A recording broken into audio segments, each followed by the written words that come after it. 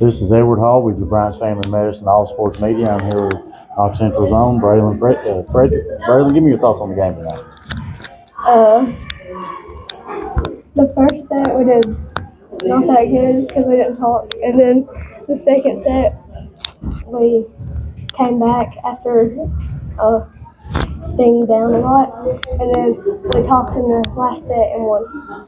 So I'm gonna have to ask you. You know, I- I'm not real familiar with a whole lot of volleyball, but the talking, how much does that help help you and your in your team know kind of what's going on? A lot. So, like going into the third set, I know it went to 15. Y'all got like a pretty good lead, and they started coming back. What what changed for you all to be able to pull out and be able to get the win?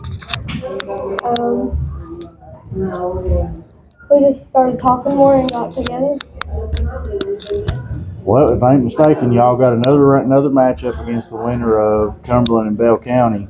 Have, have you had a chance to play both teams yet? Mhm. So, is there one team you prefer to play more than the other? They're about the same. Well, you know, I want to congratulate you on the big win and looking forward to the next round matchup.